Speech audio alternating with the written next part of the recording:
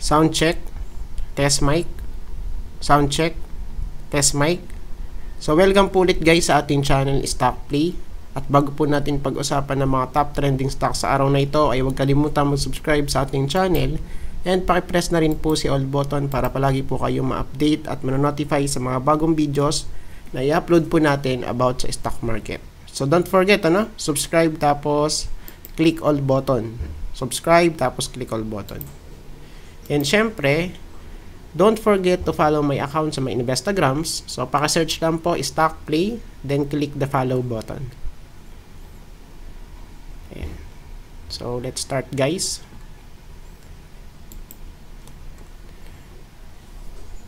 So, number one natin is dito.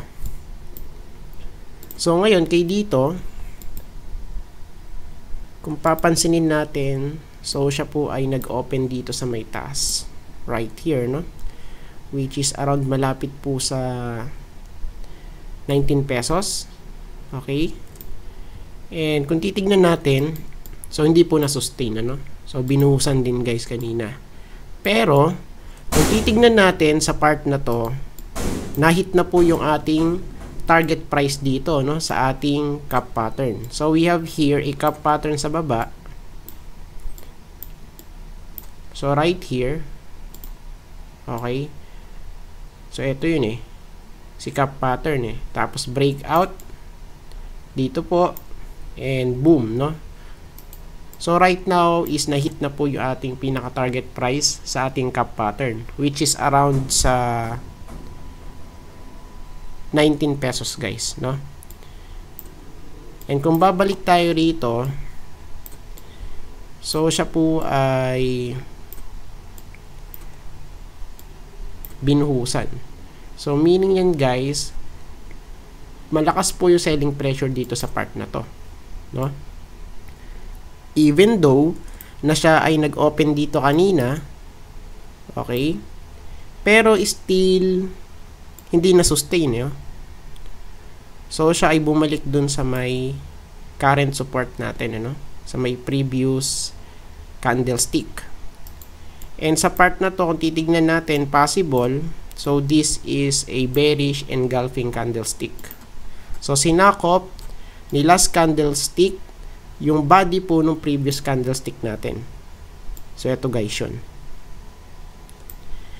And syempre, so tignan natin kung meron po tayong confirmation candlestick na siya ay bearish, ano?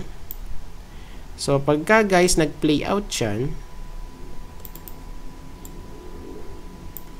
So, ang possible next support po natin kay dito is here. 17.6, no? 17.6 pesos. Dito po yun, guys. Right here. Ayan, ano? And yung ano natin, uh, third support, so syempre medyo malayo na yan, ano? Which is around here sa 17.2 pesos. So, sa part na to, mag-extend tayo ng konti. Okay. So, around here, no? Yung third support natin. O, dyan, guys. First support, dito po, sa 17.8. Second support, 17.6. Third support, sa 17.2. Dito po, guys. Ayan. No? So, tignan natin sa lower time frame. Ayan, para mas clear yung ating view. So, dito, ala, yun. O, binuhusan, no? Series of lower highs, eh. High, lower, high, lower, high.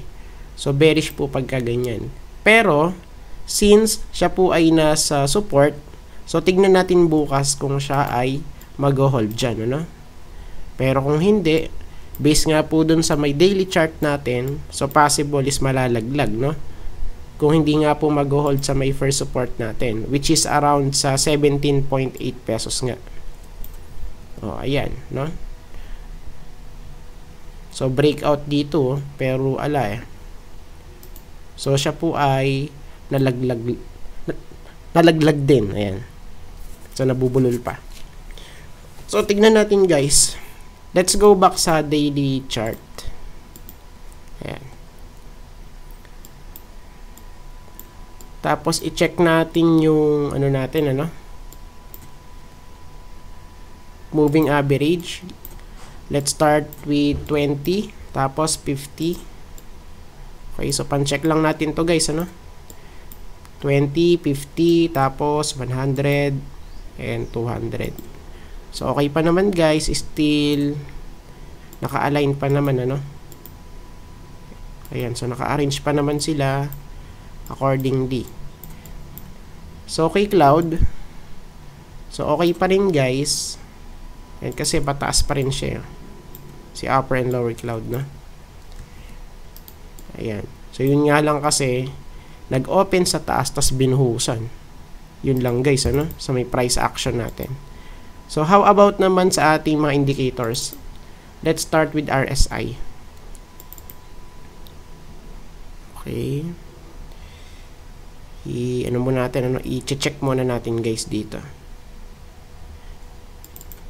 Ayan. So, dito, medyo na-hit kasi yung ating resistance dito. Oh. Ayan, kasi trend line din to eh. Eto guys, ayan o. Oh. 'Di ba trend line 'yan? So ilang touches din oh. Ah, 'Di ba? So sa part na to, higher high, no? 'Di ba? So we have here high right here high tas higher high. Higher high, ayan no. High, higher high, higher high. And sa indicators, So, mag-check lang tayo guys. Just in case na meron tayong makikitang bearish divergence. Ano kay dito? So, dito naman, high, lower high. Lower high, lower high. So, possible po guys, bearish divergence, no? Ayan. So, tignan natin kung magpi-play out. Kasi na-reject dito. Oh. This is a downtrend line sa ating RSI. So, hindi po nakapanik guys, no? Kaya nga po sinasabi natin, much better pagka breakout guys. Ang titignan po muna natin is yung kanyang horizontal ano. Kasi sa mga downtrend line natin, so siya po ay minsan nagpo-produce ng fake outs. Like this one, ano? So, medyo nag-breakout, pero fake out pala, guys.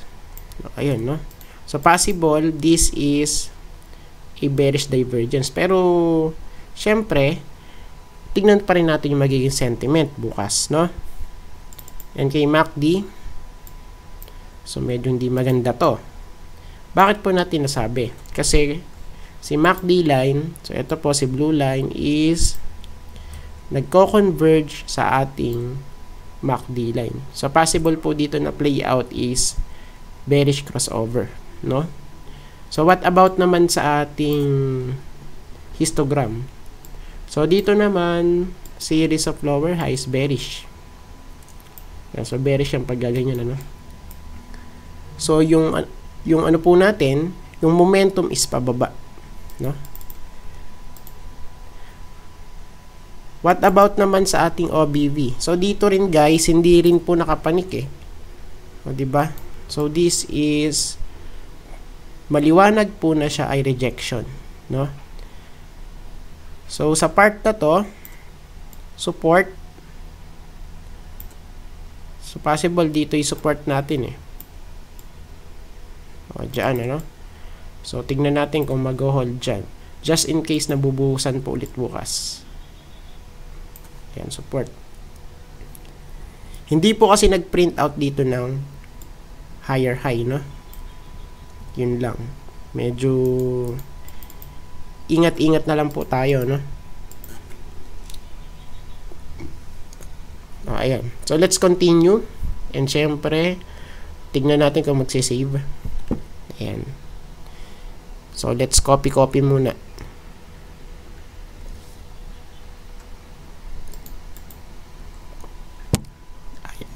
Ayaw. so, ayaw na naman. Okay, bayaan mo na. So, next natin, ito si PHA, no? So, dito kay PHA, search natin yan. KPHA.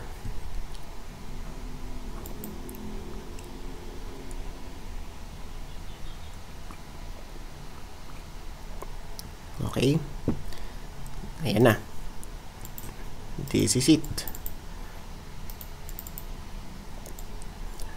So sa cryptocurrency din kasi ano eh, bloody yung market ngayon eh. No? So nag-pull back guys or sell off si BTC. Si Bitcoin 10,000 US dollars. Grabe. So dito rin sa stock market no. So sell off guys. Ayan. Kaya be prepared lagi guys, no? So, dapat alam natin yung magiging uh, plan natin. So, dito guys, so sabi natin possible cup with handle, ano? So, this is the cup right here and this is the handle.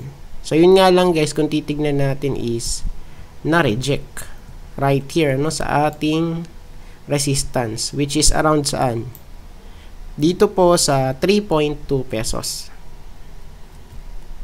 so sa part na to kung titignan natin okay so parang na-repeat yung mga previous scenarios ano so pagka nai-hit yung ating resistance eto guys So first, eto guys, ano? Okay, so this is a bullish or bearish engulfing candlestick. So dito rin guys, bearish engulfing candlestick. And sa part po na to, this is also a bearish engulfing candlestick, no? So hindi po natin sinasabi na talagang sell off to totally kasi siya naman ay nasa support eh. Pero possible guys, ano? Based po dito sa mga past scenarios po natin kay PHA. So siya po ay nagkikreate ng ano yo. Bearish engulfing candlestick. No? And here, so sa pangatlo na to, so sabi natin possible eh na ma-filled yung ating gap up. So na-filled na po guys right now, no? So, tignan natin kung mag-hold nga dito sa may first support which is around sa 2.85 right here. Ayan. So, series of touches dyan. And kung hindi po mag-hold, so, syempre, what's next? So, tignan natin guys, ano. So, just in case na meron tayong makikita ano dito, support.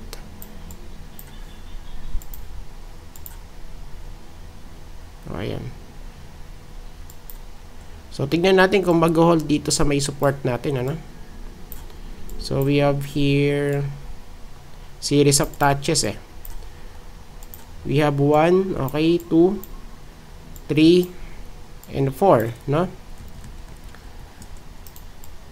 So, dito guys, kung titignan natin, so possible is mahit to, no? Si 2.77 which is around here. Diyan, ano, 2.75. Okay, sabihin na natin 2.75 guys. 2.75 pesos.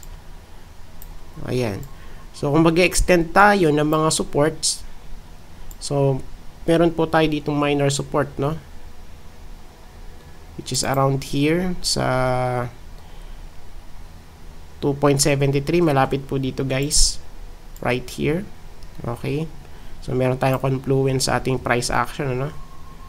Ayan. So, series of touches din dito kasi sa 2.7 something, no? 1, 2, 3, 4, 5. Ayan, no? 2.75. Malapit po dun guys yung ating next support kay PHA. So, tignan natin, ano? Kasi ano to eh. Bearish engulfing candlestick. Ayan, no? Pero, kung siya naman ay mag-hold niya, edi possible magbabounce lang din yan. O so tignan natin. Tapos, so i-check natin yung kanyang moving average. Let's start with 20. So medyo malayo naman yun. Di ba? Tapos 50, 100, tapos 200. So still intact pa rin naman ano. Ayan oh. 20, 50, 100 tapos 200. So what about sa ating cloud? So kay cloud guys, okay pa rin naman to kasi yung ating price action is nasa taas pa rin ng ating cloud, no? So still si PHA is bullish pa rin naman, no? Titignan natin. So what about sa ating mga indicators? Let's start with RSI. So dito po sa part na to, si PHA is bumaluktot po ulit pababa. So possible, sa part na to is magre-retest to ulit ano, sa ating horizontal support right here or possible din is mag-retest ulit dito sa ating trend line ano. O ayan, kung titignan natin kasi ayan no. So ito po yung ating trend kay PHA. Base po dito sa kanyang RSI. Ayan. So, maliwanag po guys, ano, this is a trend line since 2019. Remember, 2019, ano, ayan, no, 2019. So, ito po yung kanyang sinusundan na pattern. Okay? So, for now, so, kung tayo ay, ano dito, magfo-focus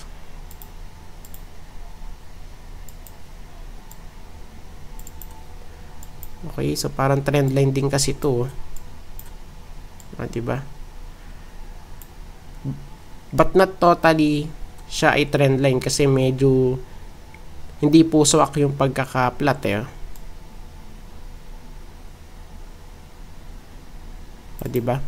Pero still kung titignan natin, lower high to eh. Oh. High, lower high. So, meaning po niya, pagka lower high guys, at hindi po siya nag-create ng higher high, medyo bearish yung kanyang trend, no? Yan, kasi nahihirapang mag-create ng higher high dito. Ayan. So, possible nga magre-retest to sa kanyang support, no? So, tignan natin guys. Tapos kay MACD, so dito naman kay MACD, Okay, so fake out na naman 'to. O di ba? So sabi po natin na possible siya po ay bullish crossover pero hindi po guys nangyari, no? Kung papansinin natin, si MACD line is nakabaloktot na po ulit pababa. Ayan, kasi nga si MACD is laging indicator to eh. No? O, ayan. Tapos dito, sa ating histogram KPHA, lower low. Okay, so, hindi po siya mag, ano, no? Hindi po siya gaanong maganda right now. Ayun, no? Lower low to eh. So, sign of weakness, ano? And sa volume, So, sa volume din po, ganun din. Lower high guys, no? So, meaning yan, pababa yung demand. Ayun, no? High, tas lower high. Ayan. So, weak po yung demand pagka ganyan, ano? Lower high, eh. Okay, so tignan natin, ano? Ayan. So, bali support, So, dito, no? Ayan, support or okay, sa part na to, magdadagdag tayo. Diyan, ano? So, tignan natin kung mag-hold dyan. So, for now, dito po muna tayo mag-focus. Ayan, so may dinagdag natin na support kay PHA. Let's save.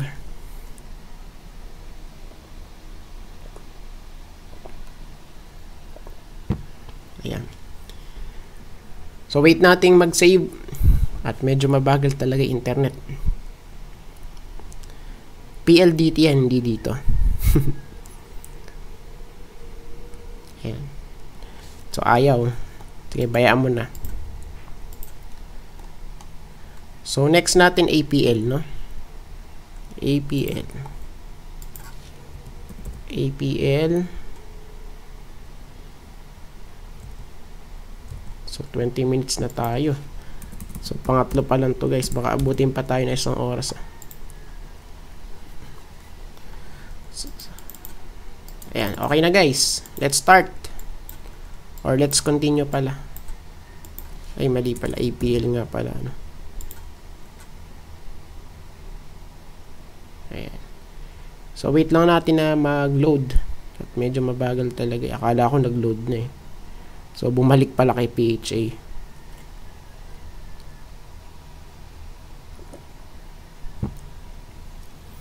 Ayan, no? Ayan na. Let's do this. So, dito po kay APL. Okay, so nag-hold sa may ano natin, ano? Support, pero siya ay binuhusan dito sa may second support natin, ano? Which is around malapit po sa may 0.25 no ayan. Pero kung titignan natin mahaba yung wick guys right here. So meaning maraming sumalo. Okay? So dito sa part na to so tignan natin kung meron tayong makikitang trend line. So ayan no So sa part kasi na to, 'di ba, sabi natin, possible this is a cup with handle pattern kay APL. So this is the cup tapos and this is the handle. So syempre, pagka fresh breakout 'yan, normal po guys na magkakaroon ng throwback 'yan sa may previous resistance niya, no?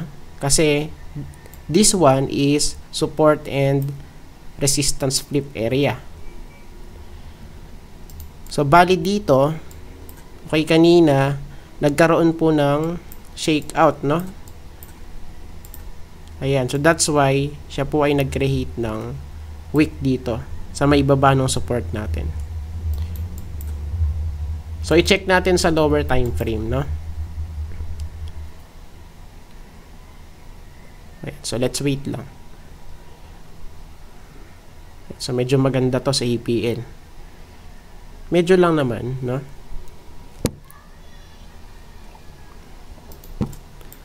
So, dito nag-hold eh, oh. So, diba? So, this is a good sign. So, tignan natin kung siya ay pipitik pataas, no? Okay, so possible. Dito po muna tayo. Aabang. Okay. So, mag-adjust tayo ng uh, very light. Ayan, kasi meron ditong resistance eh. Sa 0.28, no? Which is around here. Okay, sa area na to. So, tignan natin kung makakapanik bukas, ano? So, pagka nakapanik, ang next target na po natin is here. Sa 0.29 or 0.3 na guys, no? Ayan. So, ito yung second resistance natin. Or yung pinaka second target. So, just in case na siya ay hindi po makakapanik, edi possible. So, tayo po ay magre-retest dito ulit.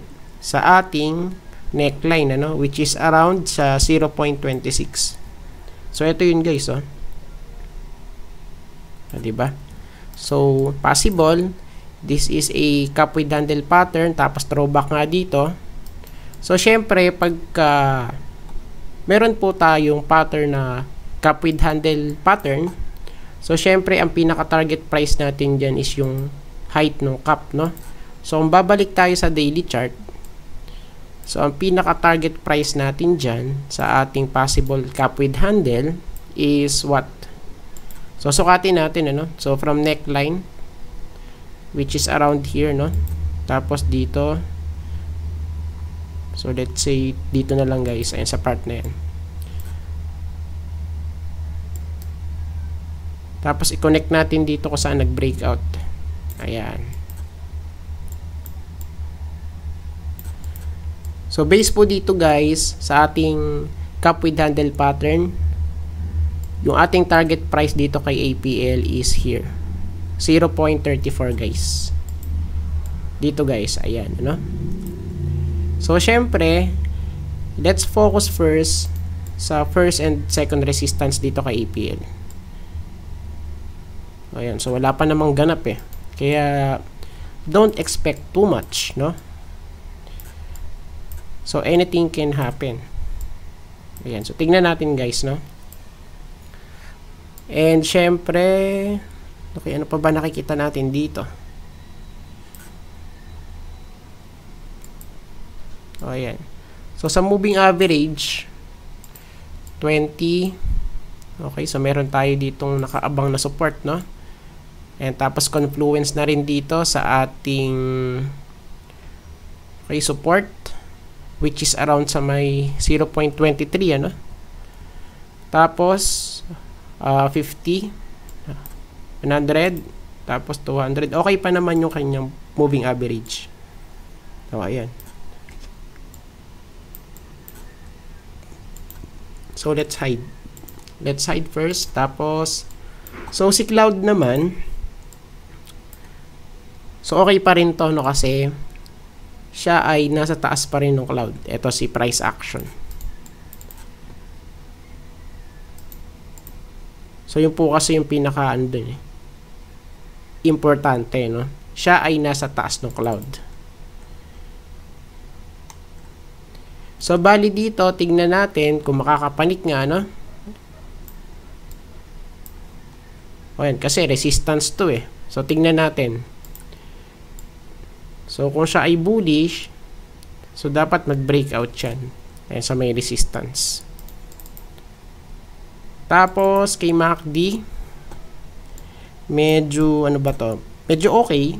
Okay, sabihin na natin okay kasi medyo pataas naman yung ating histogram eh. O, diba? Ayan o. Medyo lang ah, pero hindi po natin sasabihin talaga na talagang okay siya. Ayan. So what about sa ating uh, volume? So dito naman is nag-bounce eh. So this is a good sign ano. And kasi after the breakout, so we have here a throwback tapos bounce, no? So ang pinaka ano natin dito, aabangan kay volume is dapat mag-create po siya ng higher high. Ayan, so tingnan natin kung makakapanik dito dapat po siya ay mag-create ng higher high, no? Ayan, so tignan natin. Let's see. Tapos, save natin kunwari. kunwari, eh, no? Ayaw, eh. Ayaw. Pagka ayaw, edi ayaw niya.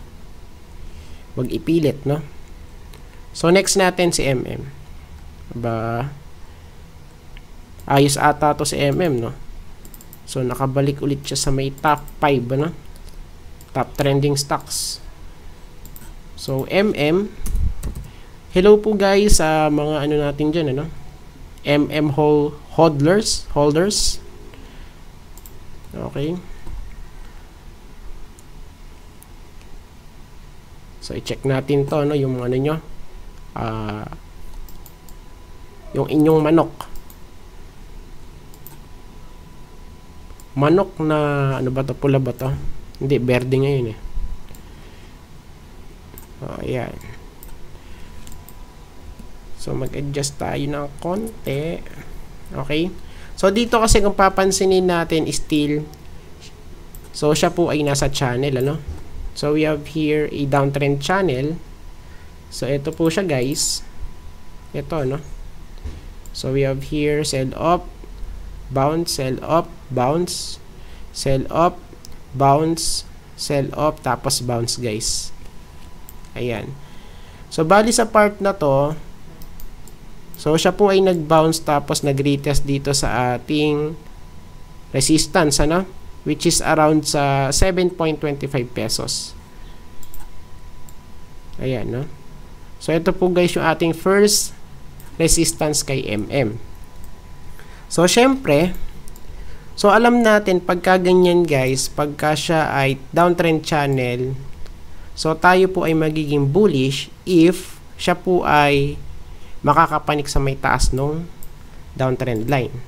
So, dapat makapanik muna siya, no, si price action, bago po natin sabihin na siya ay pataas yung kanyang trend.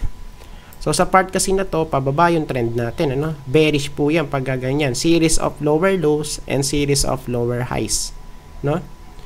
So, sa part na to, let's wait na siya ay magkaroon ng breakout dito. Ayan, ano? Ayan. So, this is a retest pa lang, guys, eh.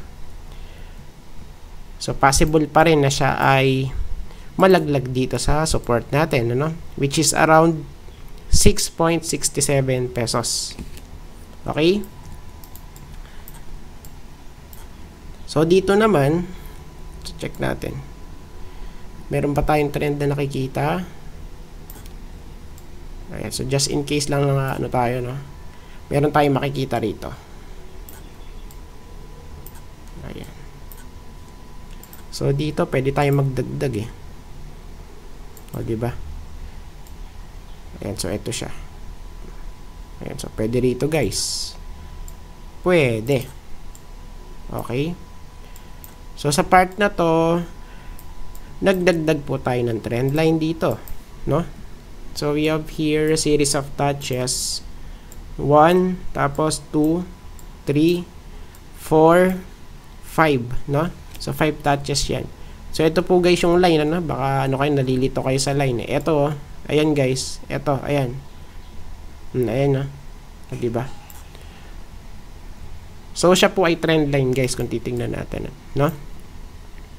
So, tignan natin, still possible pa nga rin na malaglag dito sa may support which is around sa ano ano so sabihin na nating 6.7 doon malapit dun guys ano dito guys oh ayan tapos okay so sa minor support natin so pwede rin tayong magdagdag Ayan. So, dagdag bawas lang naman tayo rito eh. Tapos, adjust, no? So, dito guys. Oops. Okay, so mali tayo na na-drawing guys. Ayan. So, dito po, ano? Ayan. Minor support kay MM sa 6.87. Series of touches din dyan. So, 1, 2, 3, 4, and 5. Ayan, no? First, support 6.87. Malapit po dito. Tapos, yung second support po natin is malapit naman sa 6.7 pesos. Ayan, sa may ating trend line dito sa may baba, ano? O, ayan. Okay. So, let's see. Tapos, moving average. Ayan, so medyo palaban naman siya dito sa may 20, ano? So, tignan natin kung masusustain pa rin yung ano niya. Yung sa price action. So, dapat kasi siya ay nasa taas nung 20 moving average, no? Si price action. Tapos, 50. Okay. So, ang papansinin natin, nagko-converge si 20 at 50-day moving average. Pero, sabi nga natin, ano, still possible pa rin po ito na malaglag. Okay? Kasi, yung concept natin, pagka po bearish, yung sentiment, siya po ay nagkikreate ng lower high and lower low. So, this is a channel, guys, kung titignan natin, ano?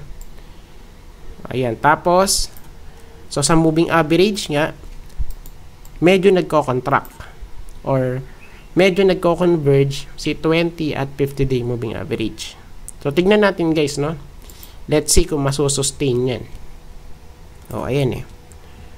So, this is very critical kay MM, no? Tapos, 100. So, si 100 naman medyo malayo eh. Saka si 200. O, si 200 hindi pa visible.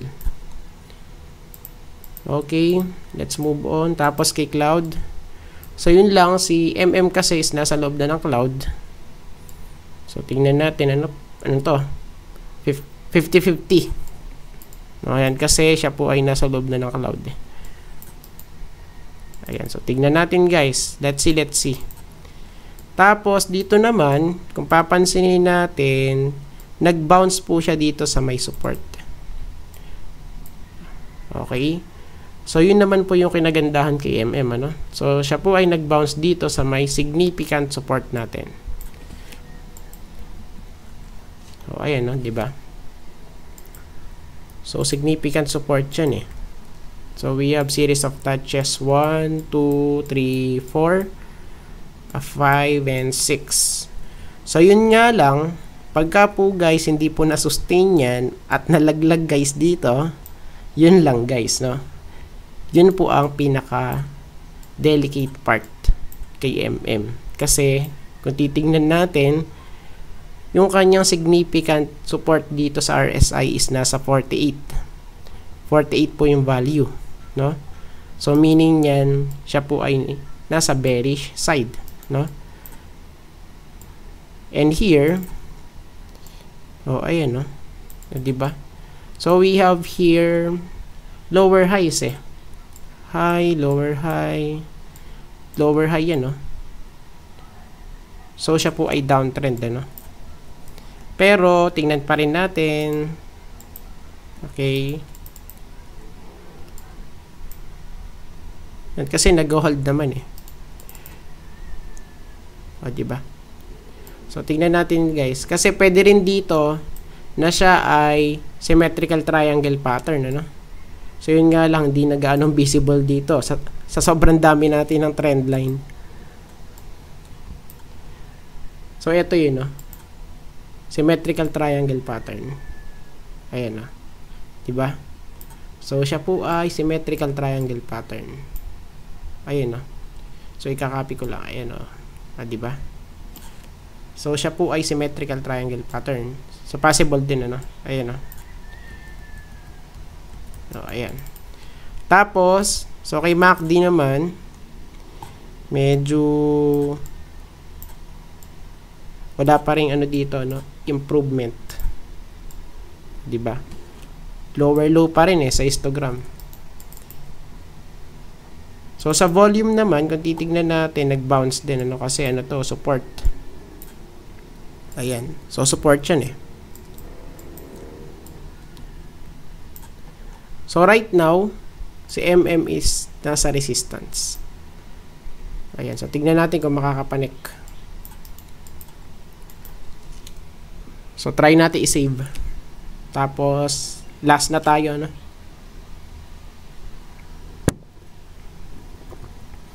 Ayan, so 37 minutes sa tayo eh. Ayan, so ayaw. So last po natin ASEN. Okay. So ASEN. Check natin to guys, ASEN.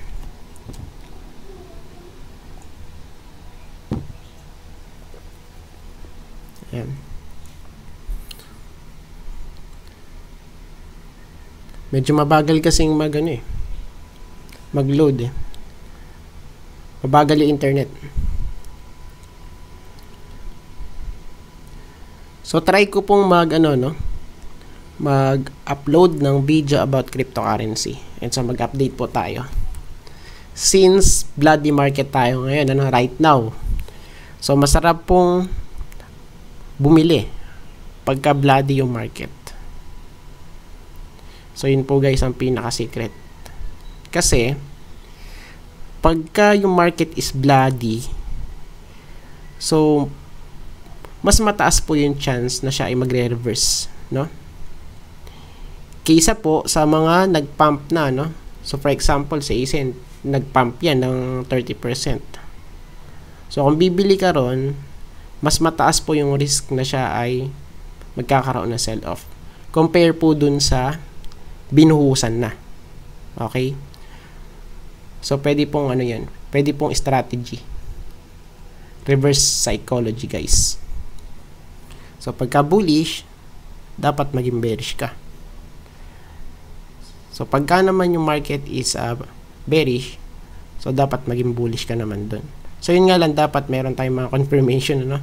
Hindi po porket siya po ay uh, bearish, is bili ka agad ang bili. So, dapat meron tayong uh, plano, no? Para ano tayo? Meron tayong risk management. Ayan. So, ayaw na rin mag-load. Ano ba yan? ASEN, come on baby. So, patapusin mo na kami sa video na to. Ayaw. Ayun, okay na. ASEN. Siya na ba? Siya na nga. So, let's start. So, dito po, hindi siya nag-hold sa may ano natin, ano? Sa ating support. So, 23 ngayon, di ba? Okay, so hindi nag-hold eh. So possible po dito, so siya ay malalaglag ulit sa may next support natin which is around sa 7.2 pesos. So dito na po yun guys, no? 7.2 yung ating next support dito kay ASIN. Oh, ayan no. Hindi po siya nag-hold eh. Kaya more likely siya po ay sell off ulit bukas. Hindi po natin sinasabing 100% ano, more likely guys, no? So i-check natin dito. Okay. Mhm. So tingnan natin kung meron tayong makikita rito, guys.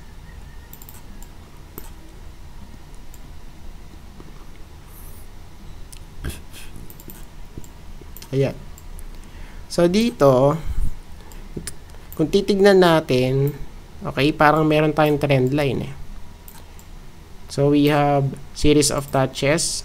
1, 2, 3, 4. So, yung sa pang 4, so medyo may shake out na nangyari dito guys, no? So, shake out to. Tapos, boom. Then, here yung pang fifth, no? 1, 2, 3, 4, 5. Ayan. So, tignan natin kung magbabounce dyan, ano? Kasi, pagka po hindi nag-hold dyan, so, syempre, sa may next support na po siya malalaglag. Which is around sa 7.2 nga, ano? 7.2 pesos. So, ayan. So, sa ano naman, sa moving average, okay, so siya po ay nakadikit na eh. So, meron po tayong confluence sa ating trend line, ano? Together with 20-day moving average. Ayan, ano?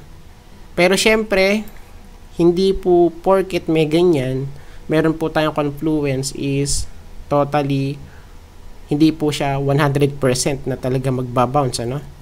Possible pa rin po na malaglag yan, guys. Kaya dapat meron tayong risk management. So, just in case na hindi po uh, pumanig sa atin yung favor ng market, so syempre ma-avoid natin yung ano, uh, too much losses, no? So, tignan natin to. Tapos, 50. So, bali sa part na to, yung ating second support is 6.9, ano? Dito naman, guys. Ayan, so, medyo malayo naman siya sa may ano natin next support ayan 100 mas malayo okay tapos 200 ayan. So okay pa naman din ano? Pero yun nga. So tingnan natin bukas kung ano mangyari dito kay Asen tapos kay Cloud. So siya po ay nasa loob ng cloud natin guys. So, ayan. And kung papansinin natin pala dito, meron tayo ditong confluence sa ating cloud. Ano? Kasi, meron po ditong flat line. So, pwede po natin gamitin si cloud as support and resistance. Ayan. So, pwedeng ano to. Minor support, no? Kay ASEN. So, what about naman sa mga ano natin, indicators? Oh, ayan. So, bearish, guys. Bearish, no? Lower highs, eh. High, lower high, lower high. Tapos hindi po nag-hold sa ating support. So bali ang next support na natin is medyo malalim pa. So eto guys ano. O, ayan. So tignan natin, let's see. Tapos kay MACD naman bearish crossover. This is a bad sign pag ganyan. Tapos kay histogram lower low. So bearish po pag ganyan ano? Lower low guys eh oh. Ayan, so bearish to si ASEN. Base po kay MACD ano? So what about naman sa ating volume? So sa volume din ganun. Lower high oh. lower high tapos binuhusan pa kanina. Ayun so for now bearish pero still possible pa rin na mag-bounce doon sa may sinasabi nating trend line Ayan, ano? So, siya po ay nasa trend line right now. Okay, so that's it. So, salamat po sa panonood. So, see you po sa next video. Don't forget to like, share, and subscribe sa ating channel. Bye-bye!